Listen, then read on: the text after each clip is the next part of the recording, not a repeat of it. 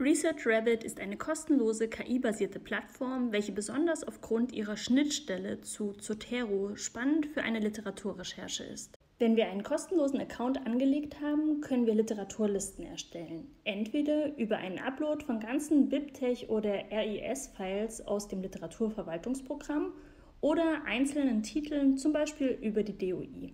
Auf die komplette Liste werden dann Machine Learning-Algorithmen angewandt, die die Metadaten der Quellen auswerten. Über Connections können wir die Verbindung zwischen den Papern sehen, wobei eine Linie zwischen zwei Punkten immer eine Zitation darstellt. Rechts neben der Grafik können wir über ein Menü tiefer eintauchen und zum Beispiel spätere Artikel angezeigt bekommen, also solche, die die Titel in der Liste zitieren. Grüne Punkte sind Paper, die bereits in unserer Liste sind, blaue sind neue. Ein Klick auf den Punkt gibt weitere Informationen zu dieser Quelle.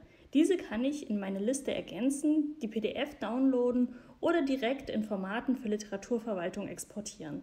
Auf dieser Quelle basierend können wir uns auch wieder tiefere Einblicke anzeigen lassen und uns so immer weiter durch die Publikationen klicken. Die Darstellung lässt sich auch umstellen vom Netzwerk in eine Timeline um die Reihenfolge der Publikation zu sehen.